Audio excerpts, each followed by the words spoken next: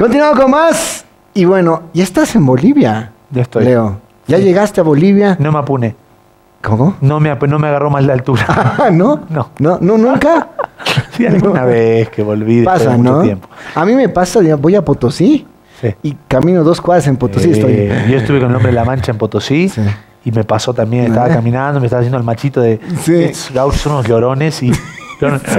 ¿No ve? ¿No ve? No, pues sí, pero, pero no, pero aquí en La Paz ya estoy muy acostumbrado. Sí. Ya llegué a Bolivia, a 2000, eh, 2012. Ya. Diciembre del 2012 llego a Bolivia.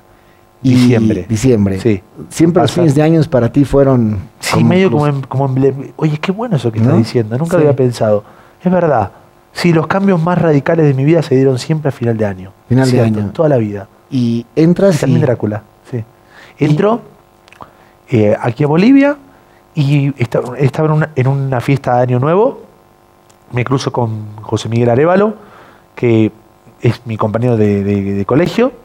Entonces yo le digo a Pepe, le digo, Pepe, eh, te escuché en la tele y estás con un temita, mira, creo que te podría ayudar así. Entonces me junto con él en mi casa y le doy unos tips, porque claro, yo estudié durante mucho tiempo técnicas de respiración diafragmática, Claro. proyección de la voz, eh, y también empecé a dar clases de eso en Argentina. Entonces le di la clase y él me dijo, me encantaría que esto lo hagas en ATV con todos los chicos. Entonces le dije, pucha, genial, un proyecto. Lindo, es lo que claro. necesito.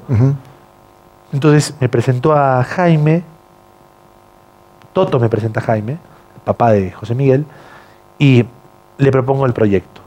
Y mientras le propongo el proyecto a Jaime, que Jaime dice, bueno, arrancás en tres semanas, se entera María Delgado, que María es mi compañera de curso, de toda la vida, de primero básico hasta cuarto medio, y me dice María, oye, no, no, pero vente también a ATV, te voy a presentar a Jerry Guiteras. Entonces me presenta a Jerry Guiteras a Moira Handal y empiezo a, no, a ATV, a Red A 1. Red Uno, sí, sí, Y empiezo a dar las clases antes en Red 1 que en ATV. Mucha. Sí. Con- conociendo dónde te has metido un pequeño lío. Muy lindo. Más o menos porque como mi trabajo era simple. Claro, no, no tenías ningún compromiso. No, claro. aparte no estaba de presentador. De nada. Entonces empecé a trabajar en Red 1. Muy bien, tengo muy buenos amigos en la Red 1. Hay, hay gente muy buena en ese canal, muy buena, de verdad. De los directivos, de los jefes de prensa, yendo para abajo, tengo muchos amigos, o sea, Jerry Guitera, Jorge Luis Palenque, Moira Handal también, los chicos que trabajan en prensa, todos son muy, muy amables, los camarógrafos también.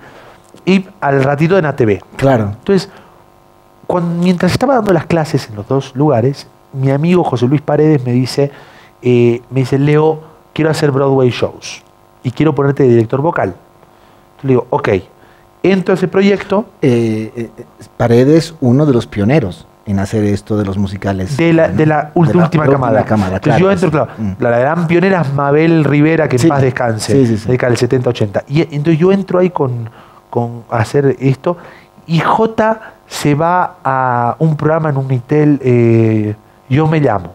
Mm, sí, pues, ¿Unitel es dónde? No, claro, no sé. era un Intel. No me acuerdo. Sí. Bueno, entra a, a ese programa a hacer de Bon Jovi. Sí. Entonces entra, Sí. entra a ese programa y me deja a mí Broadway Shows. Entonces yo termino haciendo la dirección general junto con Fabricio Ferrufino, que hace la coreografía y la dirección vocal y todo. Saco ese proyecto adelante y de ahí sale la sociedad con Fabri para hacer Para los hacer, musicales. sí. De ahí salió, hicimos Broadway Shows 1, 2, Hairspray, Jesucristo Superstar, eh, hicimos eh, El Hombre de la Mancha, hicimos Chicago, hicimos Hairspray. Bueno, entonces, wow, como Que- que se, van, se cómo van sumando. Se van sumando. Y un trabajo muy profesional el que eh, ah, haces. intentamos hacer cosas muy lindas, le pagamos a todos los actores. Yo sé que hay compañías en este momento que están presentando obras que cobran eh, 95 bolivianos la entrada, particularmente ahora, una obra que cobra 95 bolivianos la entrada y que no le paga a sus actores. Me parece muy reprochable. Sí, reprochable. Entonces, la cuestión es que entonces el voy a promocionar a ATV como invitado a la primera edición. En ese entonces conducían Claudia, Maricruz y Daniel Castellón eh, y José Miguel que hace deportes. Voy a TV a promocionar Broadway shows, el casting. Y cuando voy, fluyó mucha química con Claudia y Maricruz que me entrevistaron. Eh, fluyó la química y terminó la entrevista.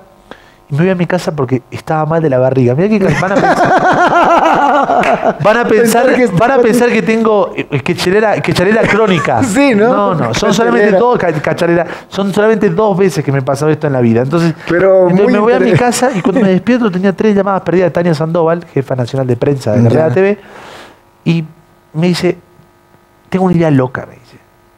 ¿Te gustaría ser presentador de televisión? Entonces yo le digo, no, no sé, no, no creo. Me dice, pero ¿por qué si haces teatro, esto, no sé qué? Das clases de, sí, pero una cosa es dar clases de proyección de la voz y la otra cosa es dedicarse a, a presentar noticias, ¿no? No lo sé. No, quiero que nos reunamos con Jimmy. Entonces voy con Jimmy y me dice, muy bien, compañero, empiezas en dos semanas. ¿Cómo es Jimmy, no? Sí. Súper eh, democrático. Entonces agarra y me, me dice, empiezas en dos semanas. Y yo, bueno, no sé qué. Entonces ya, y yo hablaba con, en ese entonces con la yo, eh, hablaba con la Y, Ya. no como ahora. Porque claro, había vivido en Argentina nueve años, me había alienado otra vez. Otra vez. Siempre tuve la lengua como. eh, nunca supe muy bien qué hacer con la. con- con- porque, claro, dos acentos diferentes. Bueno. Y Claro, con- porque allá estabas con el acento muy, muy bolivianizado. eh, en Argentina estaba, hablaba como argentino, pero con un dejo. Y me decían, ¿de dónde sos? ¿De Colombia? ¿De Perú? ¿De dónde sos? Sí. Entonces, siempre como que nunca tuve acento realmente de Argentina y nunca tuve acento, se darán cuenta, de Bolivia. Mm, La mezcla. Entonces, eh, ahí empecé en RATV y mira cómo pasan los años. Ya son cuatro años Cuatro y años medio. y medio. Y estás ahí, o sea, eh, entraste y, Y entré. y entraste y ya está. Y me quedé. y te quedaste. Sí, sí, en primera edición casi casi todo el tiempo, excepto un momento con un pequeño parate que solamente se vio a la mañana y Sí. un programa más. Pero bueno, ahora bien, estoy muy bien, me siento muy bien. ¿Qué tal la familia de ATV? Para mí es envidiable, envidiable en todo sentido. Envidiable en el sentido, por ejemplo, te voy a dar un ejemplo que para mí, si algún día yo me peleo con mis jefes y me voy de ATV, o me voy por las buenas, digamos, de ATV, yo quisiera nunca olvidarme de estas cosas que hicieron por mí ellos. Yo quiero ser muy agradecido. Mira, hace poco yo me senté con Jimmy y le dije, Jimmy, tengo la miniserie La Entrega. Tengo que dedicarle mucho tiempo y no puedo hacer tres programas. Pero no quiero dejar ATV. ¿Me dejás de hacer solamente primera edición? Y me dijo, sí, compañero. Entonces, yo no me puedo olvidar eso el día de mañana. Claro. El día de mañana tengo que ser muy agradecido con ellos. Y con Jimmy especialmente. Y, y con Marcelo y con Luis también, por supuesto. Por- porque, claro, o sea, me están dejando poder concretar esto, que es muy grande, que tengo mucho riesgo en todo sentido, artístico, económico. Entonces, y a la vez, no dejar mi pega. Sigo haciendo primera edición todos los días. Bueno, y, estás, y, y es eso, o sea, y ahorita vamos a entrar a esa parte. Sí. Te preguntaba esto de la familia de ATV porque Sí. ATV es la única red nacional que se ha mantenido muy en la suya, ¿no? Y eso es algo complicadísimo Sí. en un tiempo donde todo se mueve diferente, Estoy de acuerdo. pero ustedes se han mantenido muy en la suya. Ustedes son ustedes, ustedes tienen su línea, Sí. manejan su, su estilo, su formato, y genial, un formato que, que tiene 30 años Sí. y que, que- que ha, ido evolucionando, y no se han metido a, a- a pelearse, digamos, con los otros grandes que están el día a día peleándose con una y otra. ATV, ATV tiene el acento puesto y lo ha tenido casi siempre en las noticias. Sí, Creo que esa es la, la- la- toda la razón esa de por qué ATV no entra en el mundillo de los reality shows, etcétera, etcétera, etcétera. La única razón es porque ATV tiene las fichas puestas en sus noticieros pero ojo, y en también, sus programas de información. también tuvo programas extraordinarios, y tiene programas extraordinarios en el mundo de la farándula, pero, Pero no de ese son estilo. de contenido noticioso. Sí, O sea, anoticiando, que es un programa muy entretenido y que tiene, tiene opinión, pero es coyuntural. claro que sí. Es coyuntural, no hacen imitaciones de, de- de canto Claro. o concursos de baile o nada, es, es coyuntural. ATV siempre ha pivoteado en esta piedra angular que es la, que es la noticia. Mm. Y creo que esa es la razón por la cual eh, te guste, no te guste, le puedes decir que de esto, de un color, de lo que quieras, puedes decir lo que quieras, pero siempre, toda la vida, como vos decís, y lo decís bien, pivoteó en sus noticieros. No, y sí, sí, sí es cierto, y eso mantiene, ¿no? Y es la red más importante. Y por eso también, y esto tampoco lo dije nunca en una entrevista, por eso también la gente que hace noticias le gusta trabajar en la TV y, o le gustaría trabajar en la TV. Claro. Es una realidad. una realidad ¿En serio? total. La gente que hace Sí, noticias, sí, es sí, verdad. es muy cierto. Es así. Y es el único que no, el, único que le da, y esto es una crítica muy constructiva para otros medios, es el único que realmente dobla una información si es que la sacan de otro lado.